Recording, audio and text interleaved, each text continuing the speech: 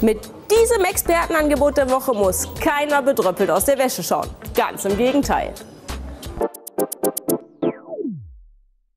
Die AEG Lavamat 6469 ist eine super moderne, vielseitige und sichere Waschmaschine. Und das für unschlagbare 299 Euro. Und auch nach dem Kauf spart ihr noch bares Geld, denn die Maschine hat die höchste Energieeffizienzklasse A+++, spart damit Strom und schont die Umwelt. Besser geht's nicht. Bis zu 6 Kilo Wäsche passen in die Trommel. Auf dem LCD-Display wird euch die Restlaufzeit des gewählten Programms angezeigt. Dank der Zeitvorwahl könnt ihr den Programmstart auch stundenweise nach hinten verlegen. So könnt ihr euren Tag flexibel gestalten und müsst euch nicht nach der Wäsche richten. Und wer einen Nachtstromtarif hat, der kann mit Hilfe der Zeitvorwahl nochmal sparen und einfach nachts waschen lassen, wenn der Strom günstiger ist. Weil die Lavamat 6469 mit bis zu 1400 Umdrehungen pro Minute schleudert, ist die Wäsche hinterher kaum noch nass und trocknet schneller. Die Sensitivoption ist ideal für Leute mit empfindlicher Haut. Damit wird ein zusätzlicher Spülgang aktiviert, der alle Waschmittelrückstände beseitigt, auf die man eventuell allergisch reagieren könnte. Gleichzeitig sorgt die Sensitivoption für weniger Trommelbewegungen, was die Wäsche schont, also ein Wellnessprogramm für eure Lieblingsklamotten.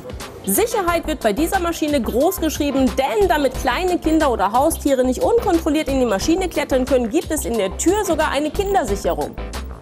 Zum Einschalten dreht man den Knopf in der Tür nach rechts und schon kann die Tür nicht mehr zufallen. Und vor bösen Überraschungen schützt das Aqua Control System. Das verhindert, dass Wasser aus der Maschine auslaufen kann und schlägt im Zweifelsfall Alarm. Die AEG Lavamat 6469 ist als Expertenangebot der Woche für nur 299 Euro erhältlich. In allen Expert-Fachmärkten und online auf expert.de. Expert. Immer stark beraten. In Cottbus, Hoyerswerda und Senftenberg. Oder unter esc-expert.de.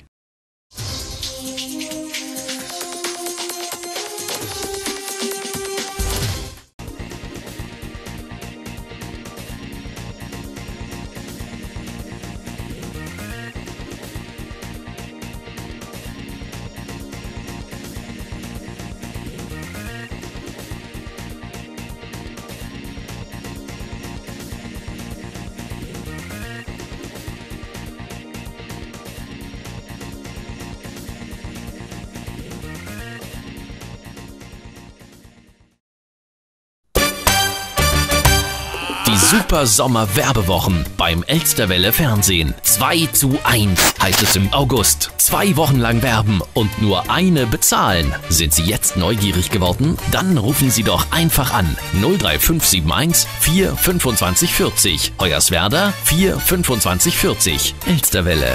Wir bringen Sie ins Fernsehen.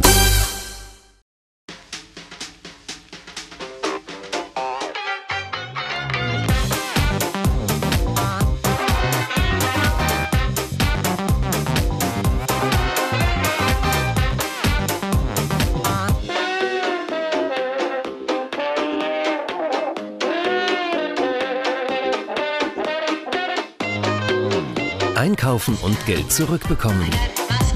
Ganz einfach mit Ihrer Sparkassencard. www.sparkassen-einkaufswelt.de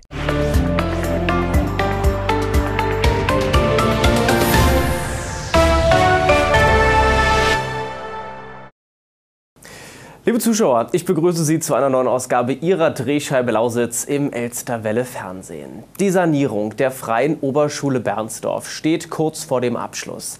Im Oktober vergangenen Jahres waren die Arbeiten gestartet worden und das bei laufendem Betrieb. 1,2 Millionen Euro wurden in das historische Haupthaus und die Anbauten investiert. Meine Kollegin Janine Wendt war vor Ort.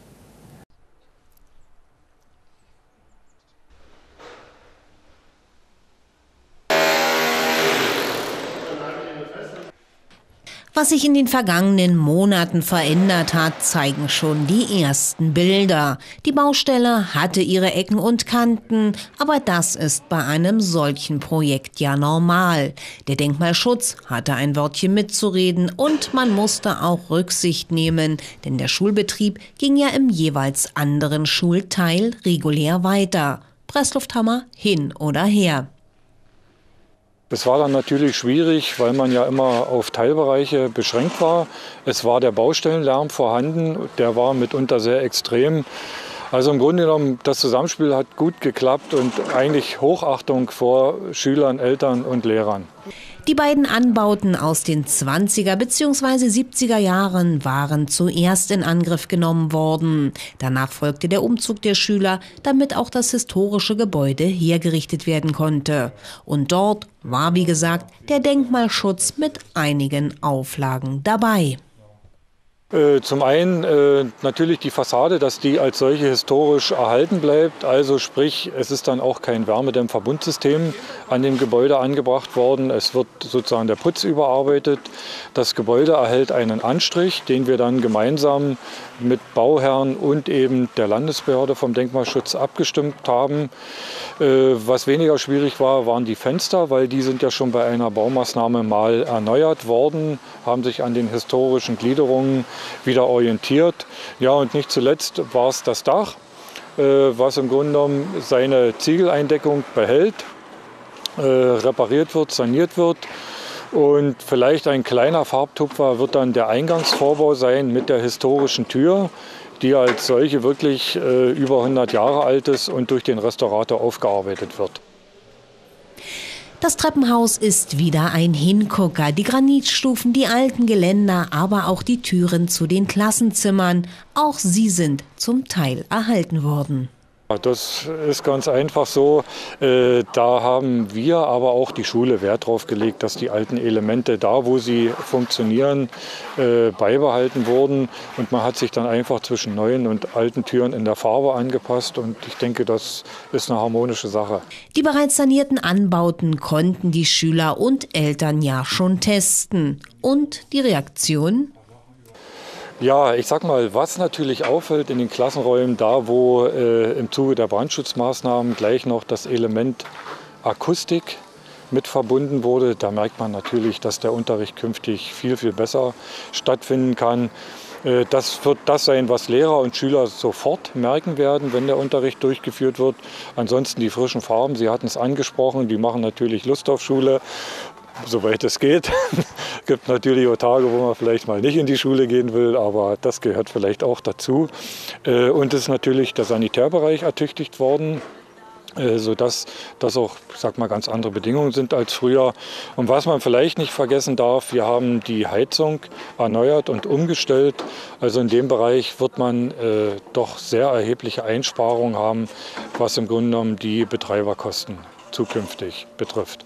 Während die Lehrer der Oberschule schon fleißig beim Einräumen sind, wird es ab Montag erst wieder ernst für die Schüler. Allerdings im Außenbereich wird es noch etwa drei Wochen dauern, bis auch hier die Gerüste verschwunden sind. Aber dann präsentiert sich mit Sicherheit ein kleines Schmuckstück in Bernsdorf.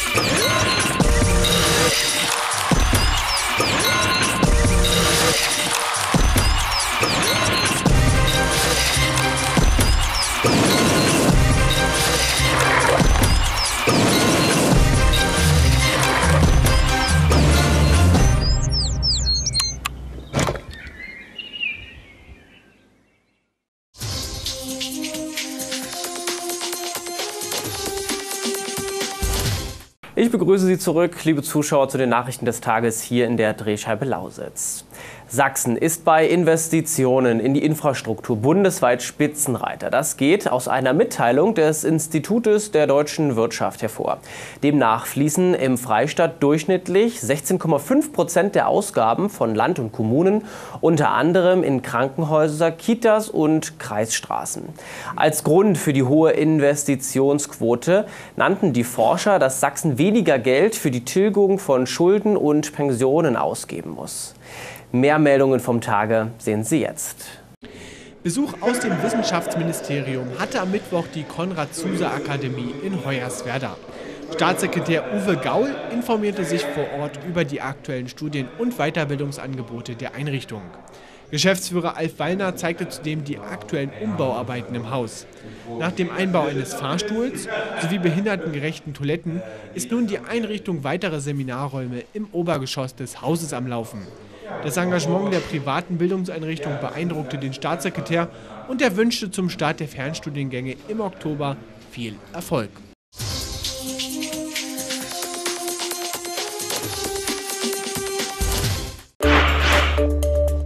Einen tödlichen Unfall gab es am Mittwochvormittag auf der B96 zwischen Hoyerswerda und Naht.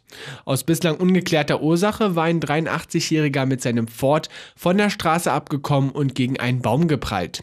Der Rentner wurde schwer verletzt und starb noch an der Unfallstelle.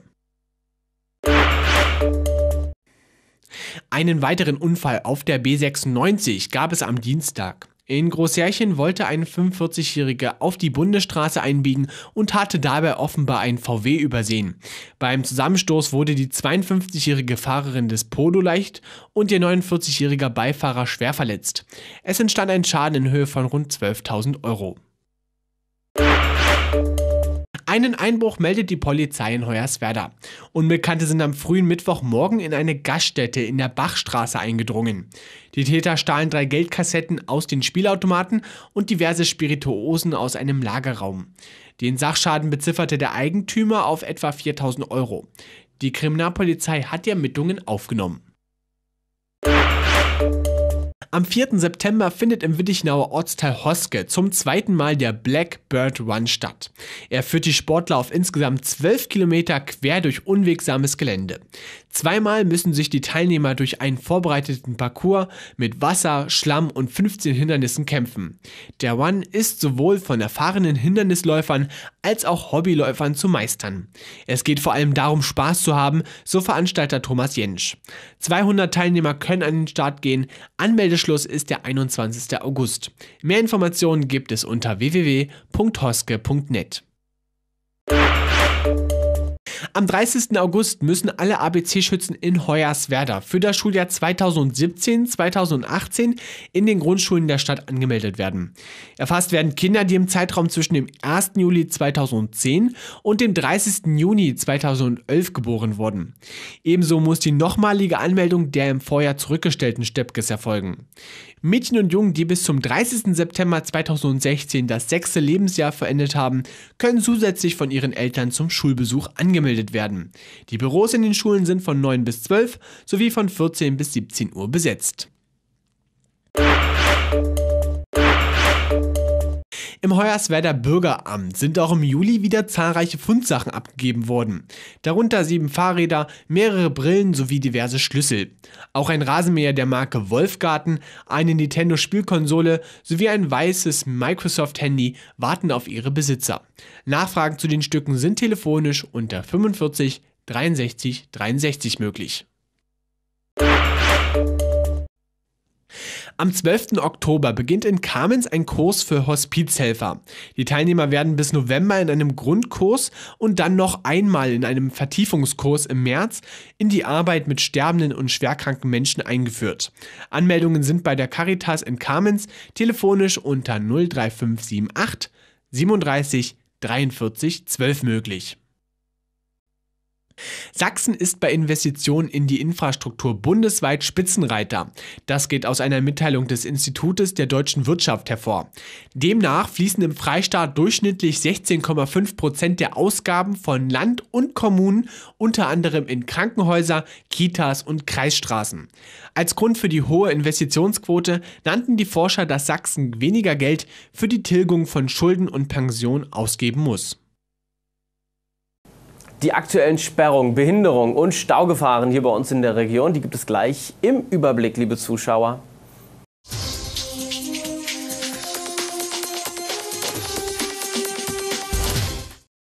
Nichts los hier?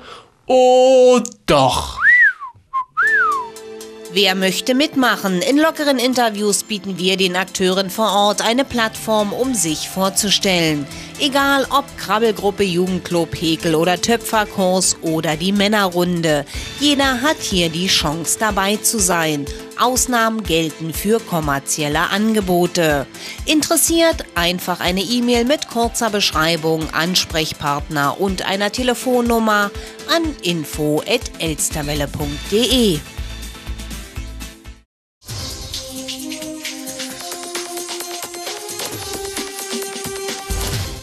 Stop and Go. Die aktuellen Straßensperrungen aus unserer Region.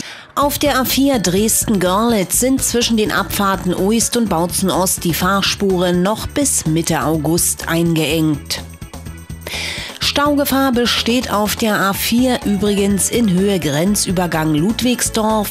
Hier sind noch Grenzkontrollen auf polnischer Seite bis Ende des Monats angekündigt. Wartezeiten sind auch weiterhin in Ottendorf-Okrilla zu erwarten. Hier ist die B97 zwischen der Kreuzung Radeberger-Radeburger Straße bis zur Grünberger Bahnhofsstraße komplett gesperrt. Eine Umleitung führt durch das Gewerbegebiet. Auf der B97 zwischen Hoyerswerda und Schwarze Pumpe ist ebenfalls eine Baustelle am Abzweig Spreetal eingerichtet. Zwischen der Zufahrt Werkstraße und der Spreetaler Straße ist die Bundesstraße halbseitig gesperrt. Eine Ampel regelt den Verkehr. Bis Mitte August bleibt auch die B97 in Hoyerswerda in Richtung Bernsdorf im Bereich zwischen der Straßenmeisterei und der ehemaligen Bahnstrecke halbseitig gesperrt. Eine Ampel regelt den Verkehr, LKWs werden großräumig über Schwarzkolm umgeleitet. Die B96, also Görlitzer Brücke in Hoyerswerda, ist ebenfalls weiterhin komplett gesperrt. Umgeleitet wird in beide Richtungen über die Kühl-Zweinert- und Stauffenbergstraße. Fußgänger und Radler können den Bereich über eine Behelfsbrücke passieren. In Sedlitz ist die B169 wegen Ausbauarbeiten halbseitig gesperrt. Umgeleitet wird über die B96 Großreschen-Freinhofen und die L55. Komplett dicht ist die Ortsdurchfahrt in Bluno zwischen der Partwitzer Straße und dem Ortsausgang in Richtung Partwitz. Eine Umleitung ist über die B97 Hoyerswerda und die S234 ausgeschildert. Ortskundige Fahrer werden gebeten, das Gebiet weiträumig zu meiden. In Burg Neudorf ist die S130 innerorts zwischen dem Abzweig nach Neustadt und dem zur B97 gesperrt. Kanal- und Straßenbauarbeiten stehen hier noch bis Mitte September auf dem Programm. Die S95 ist auf dem Abschnitt zwischen Steiner und Gersdorf dicht. Eine Umleitung ist ausgeschildert. Im Haselbacher Ortsteil Reichenau ist die Königsbrücker Straße wegen Kanalarbeiten komplett gesperrt. Umgeleitet wird über die S95 und die S100. In Brauna wird die Brücke über das Schwoßdorfer Wasser erneuert. Der Verkehr wird über eine Behelfsstraße mit Ampelregelung geführt. In Kamenz ist die Goethestraße zwischen der Weinbergstraße und der Karl-Marx-Straße vollgesperrt. Eine Umleitung ist ausgeschildert. In Senftenberg wird die Karlauer Straße in zwei Bauabschnitten zwischen der Einmündung Spremberger Straße bis zur Grenzstraße erneuert. Eine Umleitung ist hier ebenfalls ausgeschildert. Die Ortsverbindungsstraße zwischen Lieskau und der B156 ist ebenfalls abschnittsweise komplett gesperrt. Auch hier wird der Asphalt erneuert. Das Bauende ist für den 2. September geplant. Die Ortsdurchfahrt Spremberg ist im zweiten Bauabschnitt. Die Einmündung Fröbelstraße in die Karl-Marx-Straße ist dicht. Die innerstädtische Umleitung bleibt wie bisher. LKWs müssen den Baubereich großräumig umfahren. Die Stadtverwaltung will kontrollieren.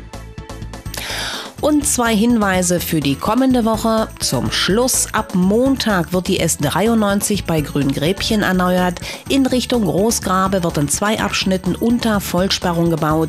Die Umleitung wird über die B97 und Schwebnitz geführt.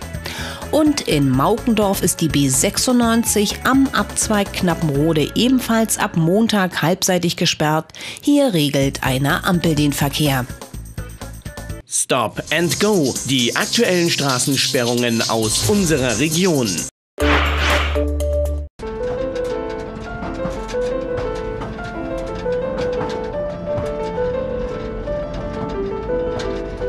Das Bergwerk erzählt mir sehr viel über die Erdgeschichte, quasi als großes Gemälde an, an der Wand. Und, und das ist das, was mich reizt, was mich auch an der Bäckerei reizt, dass man eben zu den Ursprüngen zurückgehen kann. Faktor Zeit ist sowohl in der Geologie als auch in der Bäckerei der ausschlaggebende Punkt. Ähm, ohne Zeit äh, passiert in der Geologie überhaupt nichts. Ähm, in der Bäckerei geht es in dem Sinne schneller, aber ähm, doch wieder sehr langsam, weil man Teigen sehr viel Zeit gibt, um das optimale Brot herauszubekommen. Ja, eigentlich bin ich Geologe und bin ins Erzgebirge äh, gegangen, in den Marmorbergbau habe dort fast fünf Jahre äh, als, als leitender Geologe gearbeitet in drei Bergwerken. Ich habe damals mit meiner Diplomarbeit zu tun gehabt, habe quasi nur am Rechner gesessen und äh, brauchte dann irgendwas zum Abschalten. Habe es ausprobiert und bin dran hängen geblieben, ne? weil man einfach das Ergebnis sieht, es verstaubt nicht, man braucht es nicht ins Regal stellen, man kann es aufessen. Ähm, in der Geologie können äh, Gesteine aufreißen, äh, Magma kann, kann äh, Krusten auseinanderziehen, auseinanderspalten. Und genauso in der Bäckerei, wenn ein Brot richtig rustikal aussehen soll, dann wirken da ähnliche Kräfte. Und das ist für mich als Geologe auch immer ganz spannend, diese Brotstrukturen herunterzubrechen auf geologische Phänomene, um das zum Beispiel Kindern zu erklären. Ja, mein Blog war eigentlich eine Rezeptsammlung für mich selbst und vielleicht für ein paar Freunde. Und je mehr Leser das nachgebacken haben, umso mehr Feedback gab es, äh, umso mehr war ich wieder angespornt, ähm, bestimmte neue Sachen auszuprobieren. Und äh, diese Detektivarbeit am Brot habe ich auch als Geologe gemacht und, und mache ich auch immer noch. Also ich kann immer zusammen kombinieren, wie, wie die Landschaft oder das Brot entstanden ist.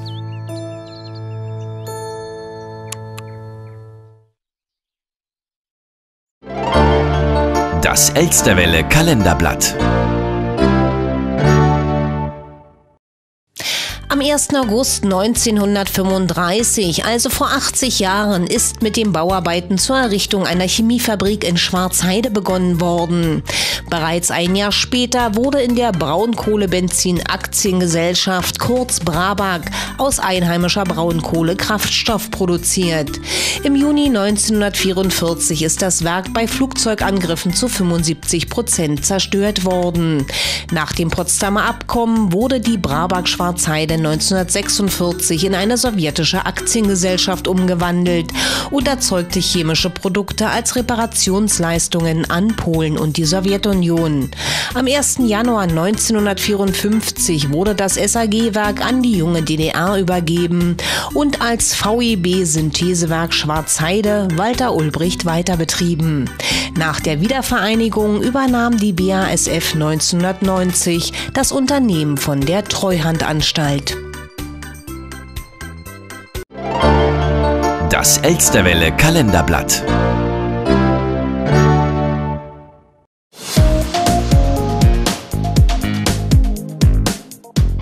Der Nachbarschaftshilfeverein lädt am Donnerstag unter anderem zur Seniorengymnastik ab 9 Uhr im Grünen Hain ein. Zum Kaffeeklatsch geht's dann ab 14.30 Uhr in die Begegnungsstätte Stell dich ein in der Einsteinstraße in Lauter.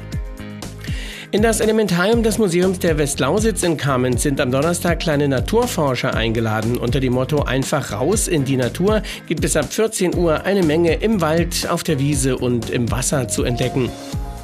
Mit dem Team vom Natz im Bürgerzentrum Braugasse 1 in Hoyerswerda können Mädchen und Jungen am Donnerstag unter anderem ab 14 Uhr in der Holzwerkstatt eine Kiste oder ein Windrad bauen. Blutspenden kann man am Donnerstag in Kamenz. Zum Aderlass wird von 14 bis 19 Uhr in die HEC Fachschule in der Königsbrücker Straße aufgerufen. Die Verkehrsmacht Hoyerswerda bietet am Donnerstag auf ihrem Vereinsareal in der Niederkirchner Straße das Kodieren von Fahrrädern an. Der Service kann hier von 14 bis 17 Uhr genutzt werden. Im Cinemotion in Hoyerswerda laufen ab Donnerstag in der neuen Programmwoche unter anderem die Filme Ghostbusters, Die Legende von Tarzan und die Komödie Pietz. Der nächste Mädchentreff steht am Donnerstag von 16 bis 18 Uhr im Jugendhaus Lauter am Lessingplatz im Programm und zum Backrippchenessen wird wieder am Donnerstagabend ab 18 Uhr in die Musikantenschenke zur Eisenbahn in Kamenz-Wiesa geladen. Tischreservierungen sind unter der Rufnummer 03578 300 451 möglich.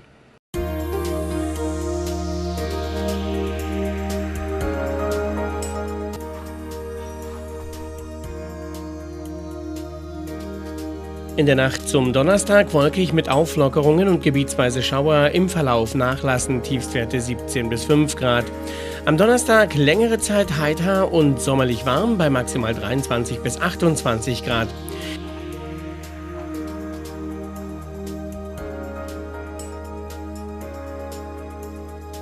In der Nacht zum Freitag teils gewittrige Regenfälle, tagsüber dann langsam ostwärts abziehend, von Westen her Wetterberuhigung und Abkühlung. Am Samstag noch leicht wechselhaft mit lokalen Schauern, am Sonntag oft freundlich mit längeren sonnigen Phasen bei erneutem Temperaturanstieg. Das war die Drehscheibe Lausitz mit den Meldungen vom Tage, liebe Zuschauer. Morgen schauen wir unter anderem an die Görlitzer Brücke in Hoyerswerda. Hier starten die Betonierungsarbeiten. Bis dahin alles Gute und Tschüss.